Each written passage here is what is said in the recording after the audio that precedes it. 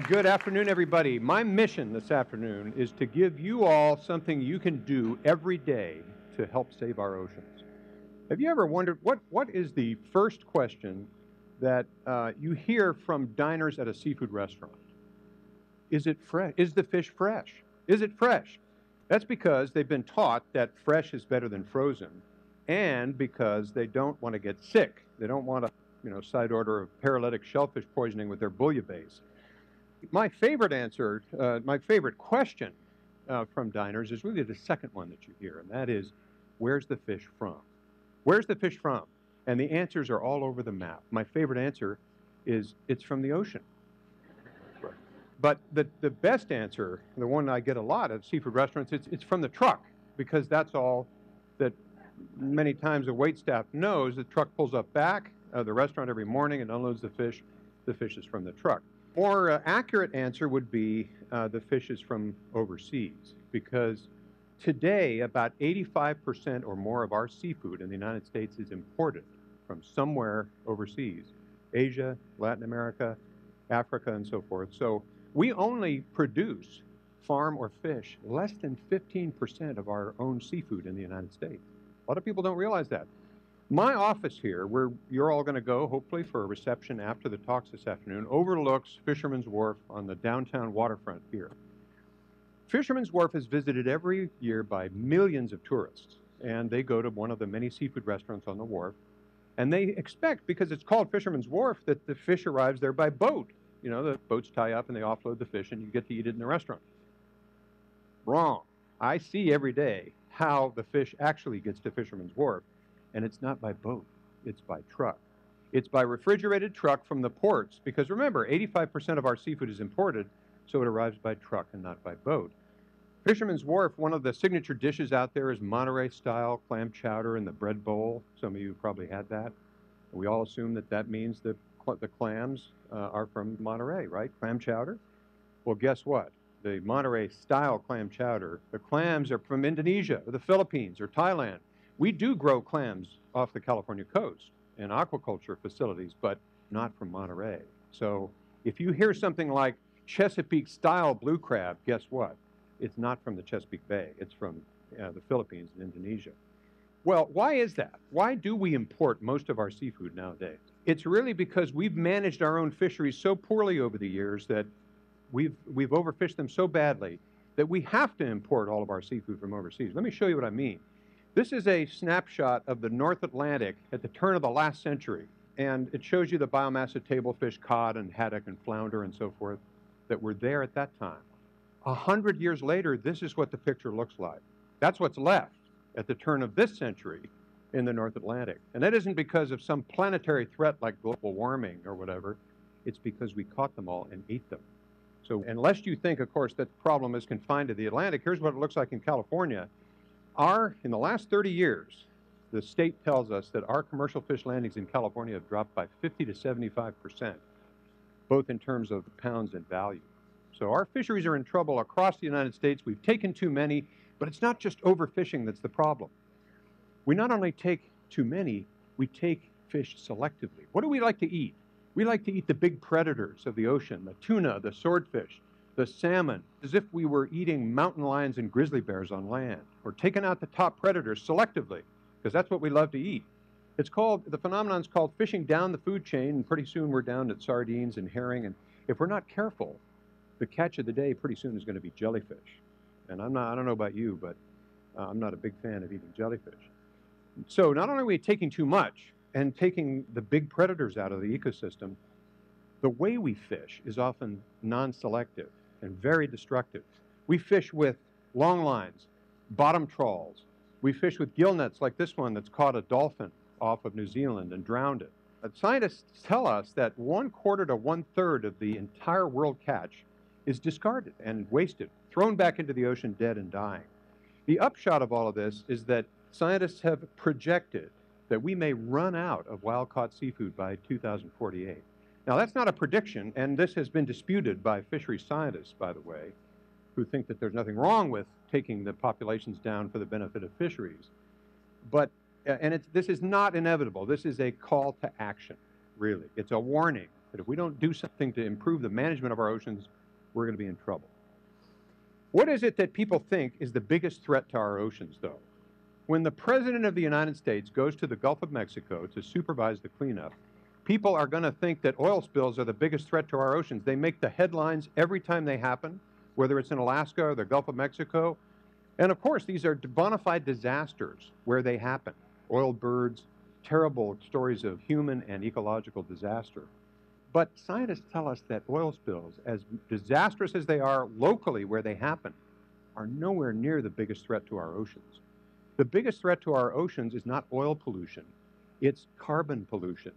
And we have abundant evidence of what that is going to do to our oceans over the next hundred years or so.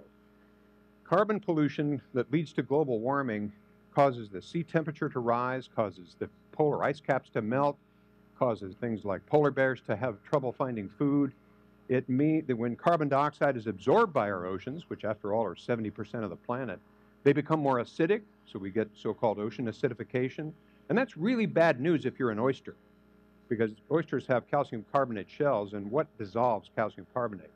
Acid. So if you're an oyster, you're, uh, we call it the naked oyster problem. And it's a big one. But the fact is, we can't do much about climate change, or even if we stopped doing all the things that lead to climate change today, we would be living with the impact of climate change for some time into the future. So we may not be able to do anything in our lifetime to help turn around climate change and its impact on our oceans.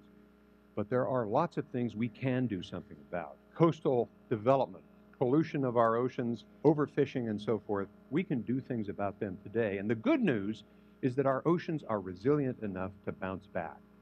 My colleague Steve Palumbi, who runs the Stanford Marine Lab, Hopkins Marine Lab on Cannery Row, just published a book recently called The Death and Life of Monterey Bay. If you haven't read it, you might want to get a copy because it's a real message of hope. What he tells in this book is the story of what Monterey Bay was like when the canneries were here 100 years ago. A hundred years ago, the canneries collectively were dumping 100,000 pounds of fish guts into the bay every day. Every day. Monterey Bay was a dead zone. It smelled so bad, nobody wanted to live in New Monterey, where lots of people live today. But eventually, the canneries went away, the sardines got overfished, the industry collapsed, the canneries went away, and Monterey Bay recovered. That's why he calls it the death and rebirth, life of Monterey Bay, because today, where that once was a dead zone. We have a thriving kelp forest out in front of the aquarium and Cannery Row. People kayaking every day, seeing sea otters and harbor seals, and it's a thriving ecosystem. So our oceans do have the ability to recover. But how are we going to make that happen? How, how can we go about that? The oceans, you've heard today so many talks about, you know, we're, we're much better at the I have a nightmare speech than the I have a dream speech. One thing we've learned over the years is we can't rely on politicians to do it by themselves. Politicians, governments alone, won't be able to save our oceans. We need to help them. And that's because Congress, people in Congress, are not going to make tough choices, especially if they cost jobs. Every time they try to make a tough decision, but necessary decision to save our oceans, somebody goes in from industry and says, you know what, you shouldn't do that because stop them from doing that because it's going to cost us jobs and short-term profits. And of course, politicians respond to that. So the government is going to need help. Well, there, that's the good news. Every one of us can help, and this is how we can do it. When we eat seafood, many of us are seafood lovers here. We don't want to give up seafood. It's not necessary to give up seafood. The United Nations tells us that if we manage our fisheries better around the world, the oceans can yield a lot more than they do now when oceans aren't managed very well. So at the Monterey Bay Aquarium, we invented a simple technique 10 years ago, a simple program called Seafood Watch to give people who love seafood better advice on making choices in the restaurants, making choices at the fish market. Red, green, and yellow. The green is best choices. The, uh, the yellow is good alternatives. And the, uh, the red are seafood to avoid because fisheries aren't managed well enough yet. And of course, we're trying to help fisheries transition off the red to the yellow to the green. We even have a sushi card, the regional cards for all over the United States. And we've, we have about 40 million of these cards on the street in the last decade since the program started. And of course, nowadays, if you have a smartphone, you can download free Seafood Watch applications for the iPhone and the Droid. And you can be a really boring dinner companion, telling your friends to stop eating that Chilean sea bass, give up the farm salmon, choose the uh, Alaskan halibut instead or the wild salmon from Alaska. Much better choices. If you're really into this, you can come to the best party of the year at the aquarium, Cooking for Solutions, every May. We throw a big celebration of sustainable cuisine at the aquarium called Cooking for Solutions. Not just seafood. We now have restaurants, wineries, chefs competing to be part of this event to show us how sustainable they are. And that's a good sign because it means the industry is changing. You can also rely on an eco label. The first eco label for seafood, uh, the Marine Stewardship Council, was created about 15 years ago in Europe. It is now certified. About 10% of the world's seafood supply is under this eco label, and people can look for it every day. You can see it here in Whole Foods in Monterey in front of the delicious looking deep red sockeye salmon, wild salmon from Alaska. You're going to hear about that in the next talk a little bit more. But this is a great green listed choice. It's healthier for you than farm salmon. And you can see some stark contrasts at the same place, Whole Foods, right next to one another. On the left, red listed, pallid farm salmon, Atlantic salmon. On the right, delicious, deep red, orange, wild salmon from Alaska bearing the eco label. The choice is clear. Which of those is a better choice for the oceans and for you? And by the way, this choice is disappearing because Whole Foods has announced that on Earth Day 2012, they are removing all red listed seafood from all of their stores. And they deserve a lot of credit.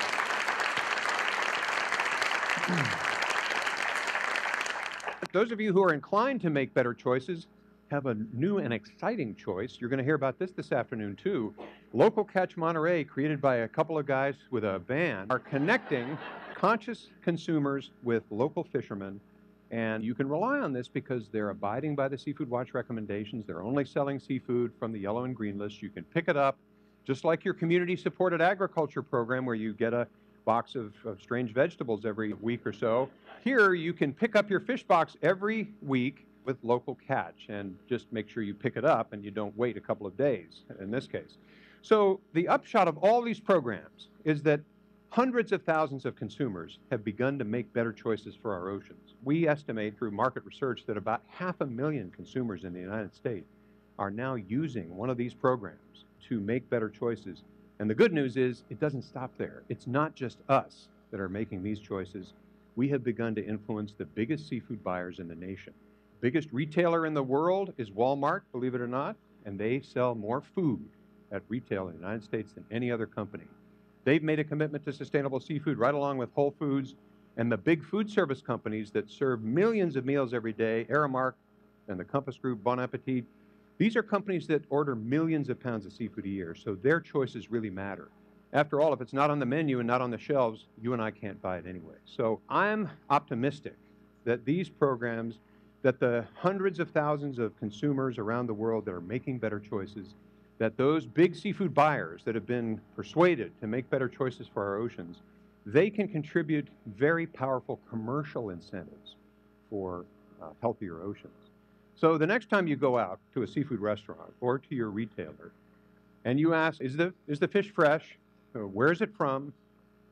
If you don't get a satisfactory answer, ask them, is your seafood sustainable? And if you, if you don't get the answer you're looking for, whip out your seafood watch card, whip out your iPhone, and do a little education of your own because you, we can all help save the oceans one plate at a time.